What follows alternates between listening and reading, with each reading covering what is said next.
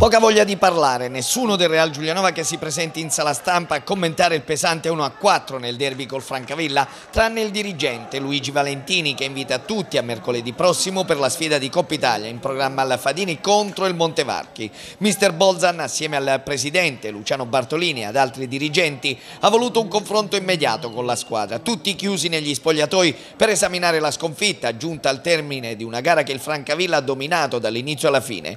Giallorossi di casa ma incisivi, penalizzati forse anche dalle tante assenze, a cominciare dagli squalificati del Grosso e Torelli, gli infortunati Fazzini, D'Adamo e Barlafante.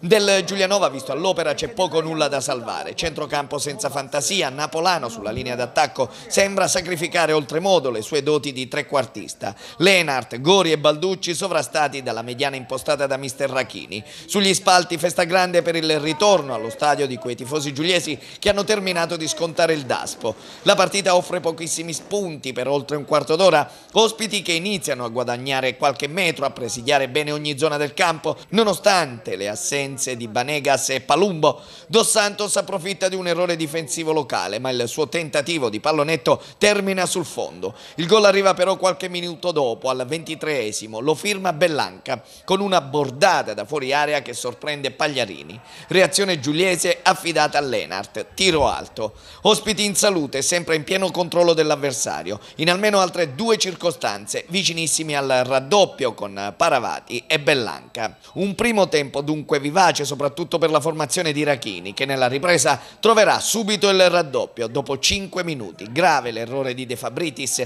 che nel controllo della sfera se la lascia rubare da Dos Santos. Il tiro dell'attaccante viene respinto da Pagliarini, un giocatore del Francavilla è pronto alla ribattuta ma Ferrini lo mette giù. Cartellino giallo per il difensore rigore che lo stesso Dos Santos trasforma. Bolzan richiama un evanescente Gori e inserisce Morra dirottandolo sulla fascia. L'11 francavillese non dà mai l'impressione l'impressione di soffrire l'iniziativa del Giulianova. Anzi, Mancini si vede negare la rete da Pagliarini. È la volta di un altro ex, Fabrizi, al posto proprio di Mancini. Il Giulianova accorcia al ventitreesimo su un rigore generoso concesso per fallo su Tozzi Borsoi. Dal dischetto il numero 9 giallorosso realizza il terzo centro stagionale. Al venticinquesimo finisce la gara di Ferrini per il secondo giallo. A Matelica domenica prossima il Giulianova dovrà rinunciare ai due terzini titolari per squalifica.